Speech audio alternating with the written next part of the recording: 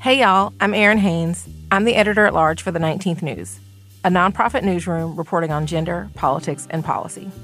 We look at where our democracy remains unfinished, where women, people of color, and queer people are still not included. And later this month, I'll be your host for a brand new podcast from the 19th News and Wonder Media Network called The Amendment. More on that soon. But for now, I'm excited to be your guest host for this month of Womanica. This Black History Month, we're talking about revolutionaries, the black women who led struggles for liberation from violent governments, colonial rulers, and enslavers. These women had the courage to imagine radically different worlds, and they used their power to try and pull those worlds into view. Today, we're talking about a Caribbean born grassroots labor organizer who is not as well known as her male counterparts, but who is no less impactful. She committed her life to hunger marches, political education, and empowering the working class in Trinidad and Tobago. Please welcome Elma Francois. Elma was born on October 14, 1897, on the island of St. Vincent. Her childhood was punctuated by loss. First, the death of her father. Then, the loss of her family's home during a volcanic eruption. When she was still young, she joined her mother in the fields, picking sea cotton outside of Kingstown.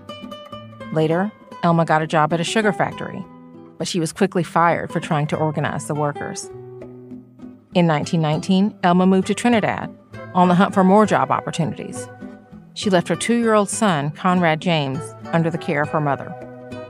She found work in Port of Spain as a domestic worker for a white upper class family and used her modest earnings to send weekly packages back home to her mother and son. Elma soon joined the Trinidad Working Men's Association, but she frequently clashed with the leader, Captain Arthur Andrew Cipriani. Cipriani often avoided the workers he sought to represent. Elma believed in the importance of working amongst the people. When she wasn't staying up late, studying labor theory by candlelight, she spent her nights hosting rap sessions, where she'd teach her fellow working class men and women about what she'd learned. In 1934, Elma helped found the National Unemployed Movement, or NUM. Trinidad, like much of the world, was suffering under the weight of the Great Depression. And Elma saw how working class people bore the brunt of it. She helped create a register of the unemployed, an official headcount to illustrate the depth of poverty people were facing, and led a series of hunger marches when masses of unemployed folks gathered to call for aid. Later that same year, the NUM changed its name to the Negro Welfare Cultural and Social Association, or NWCSA, and expanded its focus beyond unemployment to the economic, political, and social well being of Black people generally. The NWCSA was particularly focused on uplifting Black women and became the first gender neutral organization of its time. In addition to championing working class causes domestically, the NWCSA was committed to fighting colonialism abroad when Italy invaded Ethiopia in 1935, the NWCSA instructed workers to refuse to load Italian ships on the docks. In 1936, the organization turned its focus to the pantry. The price of condensed milk, a staple of the working class diet at the time, had skyrocketed. Elma led a delegation that met with the governor to discuss the issue. The group had collected mountains of research on the cost of living, nutritional standards, hospital services, old age pensions, school meals, and health services.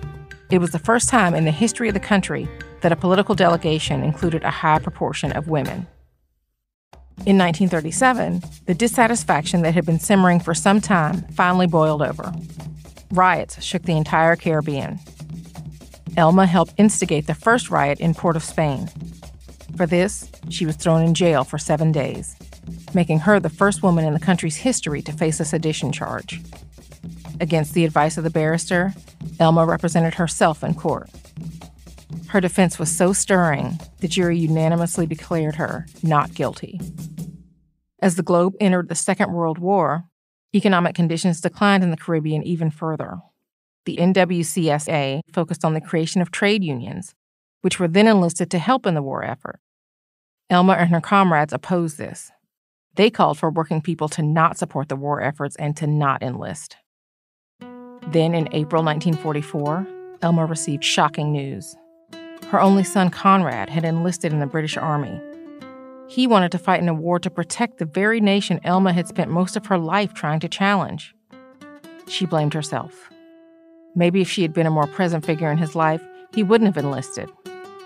Despite their differences, Elma attended a farewell dance to bid her son goodbye. They took to the dance floor, wrapped in each other's arms. The next day, on April 17, 1944, Elma passed away. She received a socialist funeral. Her body was shrouded in a red cloth, and her comrades in attendance wore their all red uniforms and red felt hats or Panama hats. After her death, the NWCSA's activity slowed down, but Elma's impact is still felt across the Caribbean. In 1987, her home country of St. Vincent and the Grenadines named her a national heroine of Trinidad and Tobago. All month, we're talking about revolutionaries. For more information, you can find us on Facebook and Instagram at Womanica Podcast. Special thanks to co creators Jenny and Liz Kaplan for having me as a guest host. Talk to you tomorrow.